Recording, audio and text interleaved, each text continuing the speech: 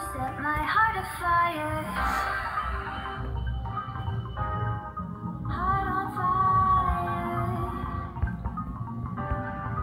Set my heart afire.